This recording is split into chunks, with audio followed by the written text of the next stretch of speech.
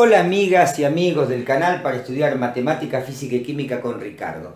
Bueno, vamos a descomponer una fuerza en tres direcciones. ¿eh?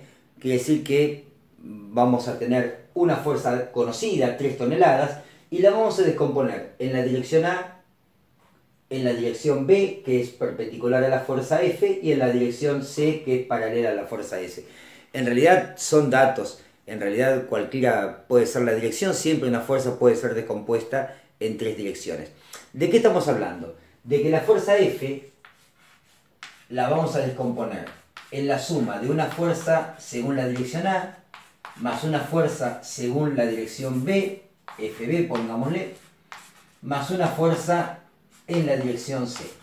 Ahí está, fíjense esto, un juego de tres incógnitas. Bueno, es complicado teniendo tres incógnitas, pero no es tan complicado si utilizamos el concepto de momento de fuerza. En primer lugar vamos a usar el método de Ritter. El método de Ritter es un método gráfico analítico, es decir, por momento vas a usar elementos gráficos, por eso tenés que tener tu diagrama hecho a escala, ¿eh? tanto sobre todo las longitudes, ¿eh? que, que, es lo que vamos a usar en el método de Ritter, las longitudes a escala y por momentos analítico. Y en esto nos van a ayudar los momentos de fuerza, porque vos fijate que según el teorema de Varignon, el momento de fuerza de una resultante es la suma de los momentos de fuerza que componen a esa resultante siempre con respecto al mismo punto, ¿no? A ver, fíjate, suponete que tomamos momentos con respecto a este punto. Este punto no es casual, no es casual. Ahí en ese punto se cortan dos direcciones se corta la dirección de B con la dirección de C. Es importante eso. ¿eh?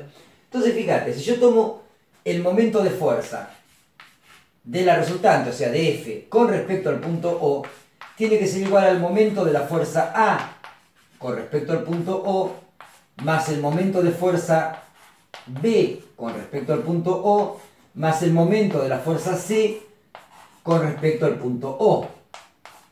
Ahora, ¿qué ocurre? Tanto la fuerza que actúa en B como la fuerza que actúa en C pasan por el punto O, con lo cual no presentan distancia y sus momentos de fuerza son cero. Momento de fuerza, te recuerdo que es fuerza por distancia. Distancia entendida como eh, la distancia perpendicular a la fuerza, ¿no? Bueno, quiere decir que el momento de fuerza B con respecto a O y el momento de fuerza C con respecto a O es cero. Quiere decir que acá, tanto B como C lo podemos cancelar porque con respecto al punto O no presentan distancia. Vamos al momento de F con respecto al punto O. Fíjate que F gira en este sentido, le vamos a poner signo positivo. F por... ¿Y qué distancia hay de F al punto O? Bueno, hay 6 metros. ¿eh? Se, ve en el, se ve en el diagrama que hay 6 metros. Y tiene que ser igual al momento de la fuerza A. La fuerza A tendrá que entonces tener un sentido hacia abajo. Está inclinada a 50 grados, pero con sentido hacia abajo para que su giro tenga el mismo sentido que la resultante, sería la fuerza A por la distancia, vamos a llamarla D1. Ahora, ¿qué es D1? Bueno, D1 es la distancia que hay entre el punto O y la fuerza A. Esa distancia la debemos sacar tomando, fíjate, perpendicular a la dirección A. ¿eh? Ahí tenemos, la voy a marcar nada más. ¿eh? Vos, si haces el ejercicio conmigo, no solamente la vas a marcar, sino que también la vas a medir y de acuerdo a la escala que tomaste, vas a saber cuántos metros hay eh, aquí en D1, le pusimos, ¿no? D1, está, ya está puesto aquí el D1, así que sencillamente hacemos los tres, las 3 toneladas por los 6 metros, dividido el valor de D1 que vos hayas obtenido. Bueno, acá nos da el módulo de la fuerza, de todas maneras ya sabemos que FA, para que su momento de fuerza sea igual al de la resultante, tiene que ser una fuerza que está inclinada 50 grados respecto del horizontal, como lo indica aquí la dirección, y además ir hacia, dentro de esa dirección, ir hacia abajo. ¿eh?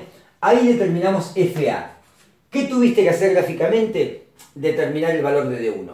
¿eh? D1, acordate que acá hay 90 grados y hubo que sacarlo en forma... Eh, tuvimos que haberlo sacado en forma gráfica. ¿eh? Ojo porque el método de Ritter es gráfico analítico, así que no hay ningún problema en tomar la medida de D1 y aplicar las ecuaciones que corresponden. Bueno, ahí tenemos FA. Te dejo como para trabajo que hagas un buen dibujo a escala, midas de 1 y, las, y la calcules. ¿eh?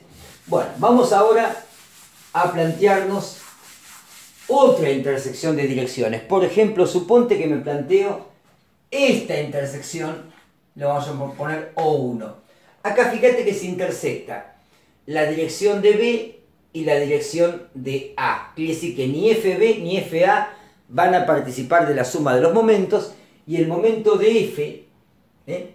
el momento de F con respecto al punto O1, ¿eh? fíjate que es negativo, ¿no? Pero de todas maneras, el momento de su componente también va a ser negativo, ¿no? Y estamos hablando de quién? El momento de FB y el de FA se anulan, solamente me queda el de FC que tendrá que tener el mismo signo, por eso no me preocupan tampoco los signos acá. ¿eh? Sería el momento de FC con respecto al punto O1. Bueno, a ver, fíjate quién es el momento de F con respecto a 1. Sería F por la distancia del punto O1, que bueno, acá en el gráfico no está, vamos a ponerle H, ¿eh? para darle un nombre. H. Igual al momento de FC con respecto a 1. Fíjate que si F gira de esta manera con respecto al punto O1, FC también tendrá que hacerlo de esta manera con respecto al punto O1. Bueno, aquí ya no me preocupa tanto el tema gráfico porque fíjate que la distancia que hay entre F, la fuerza E, C y el punto O1 es toda esta distancia, 6 más H, ¿eh? 6 metros más H. Bueno, podríamos tomarnos el trabajo, la molestia de determinar el valor de H. ¿eh? Fíjate que aquí tenemos un triángulo rectángulo formado por O1, este punto, ¿verdad? Y este otro punto. A ver, no, no quiero ahondar en nombre, pero bueno, vamos a ponerle X, Y y O1, ¿no? Fíjate ese triángulo rectángulo. Sería Y, X y O1, ¿no? los vértices. Fíjate que este triángulo rectángulo tiene aquí un ángulo de 50 grados. Bien, esta distancia, acá tenemos 6 y 2, 8 metros. 8 metros es esta distancia. Y yo lo que no conozco es la distancia que hay de aquí hasta el punto O1. Esta distancia no conozco. ¿Ven? Esta distancia. Bueno, a ver, calculémosla. La tangente de 50 grados es ni más ni menos que el cateto opuesto de dividido el cateto adyacente que es 8 metros. De aquí sacamos que 8 metros por la tangente de 50 grados es igual a D. Bueno, hagamos las cuentas, a ver cuánto nos da. Gafas y calculadora, tomemos la calculadora y hagamos la cuenta. Son 8, 8 por la tangente de 50 grados. Esto nos da 9,53 metros. ¿eh? D da 9,53 metros. Bueno, fíjate que 9,53 metros hay desde el punto I hasta O1. Desde el punto I hasta la fuerza hay 3 metros, ¿sí? O sea que desde la fuerza al punto O1, o sea, acá tenemos 3 metros desde el punto I hasta la fuerza, ¿eh? 3 metros, ¿cuánto nos falta para llegar a 9,63? Nos falta 6,53. 6,53 metros es la distancia que hay entonces entre este punto y O1. ¿Está bien? Desde este punto, de aquí a O1, hay 6,53 metros. Aquí. 6,53. Bueno, calculado esa distancia, ya no tenemos ningún problema, ya ahora no nos para nadie. A ver, vamos a seguir con el cálculo. ¿eh? Si quedó claro, fíjate, usamos este triángulo rectángulo que tiene 6 y 2, 8 metros de cateto adyacente un cateto opuesto desconocido, pero el ángulo conocido, 50 grados. Bueno, eso determinó que la distancia que haya entre la fuerza y el punto O1 sea 6,53 calculada en forma analítica. Entonces sería F, que son 3 toneladas, por H. H vale 6,53 metros. Sea igual a FC por 6 más H. H dijimos que era 6,53. Porque fíjate que FC está a 3 metros y 3 metros 6 más 6,53 para llegar ahí, ¿no? Son 6, 3 y 3, 6 y 6,53 serían 12,53 metros, ¿no? Ahí está. Fíjate que entre la fuerza C y el punto O1 tenemos 3 metros y 3 metros 6 más 6,53 nos da un total de 12,53. Y de acá sacamos, fíjate que en este caso no fue necesario usar método gráfico, sacamos el valor ¿eh? de, eh, acá metro, el valor de FC. Bueno, fíjate este detalle. Mira cómo es el giro de F con respecto al punto A. Es negativo el momento, ¿verdad? Bueno, el DFC también tendrá que ser del mismo signo, negativo, ¿no? Entonces, quiere decir que FC es una fuerza horizontal, ¿eh? cuyo módulo lo acabamos de calcular. Ahí tenés calculado FC. Bueno, sigamos. Nos falta solamente determinar, ya determinamos, eh, ya determinamos FA, ya determinamos FC, falta determinar FC, FB. Bueno, para determinar FB, lo que tenés que hacerte es irte ahora a donde se intersectan las otras dos direcciones, la A y la C, que ocurren en este punto, que llamamos ya O2. ¿eh? Bueno, en este punto, fíjate, el momento de F con respecto al punto O2 tendrá que ser igual al momento de FA con respecto al punto O, que es directamente cero, porque fíjate que FA pasa por el punto O, no presenta distancia, no presenta momento.